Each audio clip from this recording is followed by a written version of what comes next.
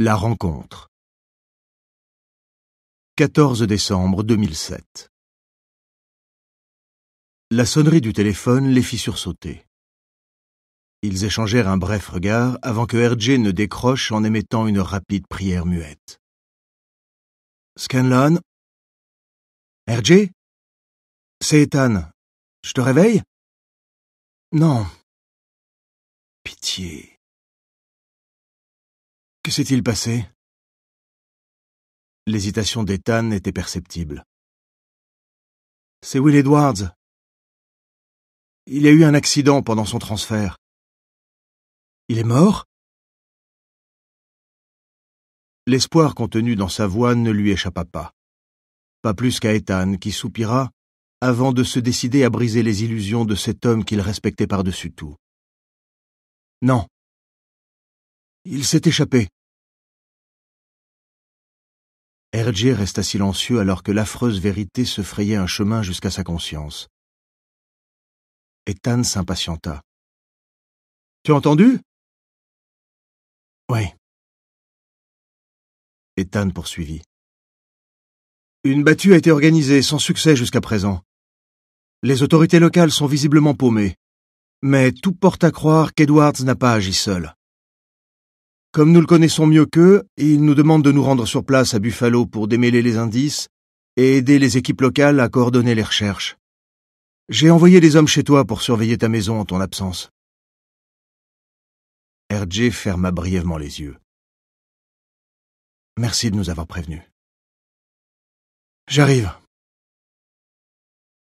Il raccrocha lentement, cherchant à retarder le moment où il croiserait le regard de sa femme. Elle posa sa main sur son bras. Il est libre, n'est-ce pas? Sa voix laissait filtrer sa panique. Il la prit contre lui, bouleversé par la peur qu'il ressentait également. Aujourd'hui, il avait encore plus à perdre que la première fois, avec le retour de l'ex-mari de sa femme, un tueur en série de la pire espèce qu'il avait lui-même mis en prison. Il posa la main sur le ventre rond de Samantha et croisa son regard angoissé. Ça va aller, Samantha. Je vais m'en charger. Ça ira, je, je te le promets. Il fit mine de se lever. Elle le retint en s'agrippant à lui de toutes ses forces. Où vas-tu? Il posa sa main sur la sienne pour lui faire gentiment lâcher prise. Tu sais parfaitement que je dois y aller. Je n'ai pas le choix. Elle tenta vainement de voir les choses sous son angle à lui. Chaque fois que RJ avait été accaparé par les besoins d'une enquête sur un tueur en série lambda, Samantha avait toujours accepté ses absences et la distance qu'il prenait inconsciemment. Il l'avait prévenu dès le départ. RJ, en sa qualité de profiler, avait mis lui-même Will Edwards derrière les barreaux. En tant qu'actuel chef d'une équipe de l'unité des sciences du comportement à Quantico, il ne pouvait pas manquer à l'appel à ce moment crucial, évidemment. Justement, parce qu'il s'agissait de Will, son mari aurait pu rester avec elle au moins ce soir. Il ne pouvait négliger aussi aisément la terreur qu'elle ressentait puisqu'il n'ignorait rien de son passé dramatique. Elle avait besoin de sa présence réconfortante, et il aurait dû le comprendre de lui-même.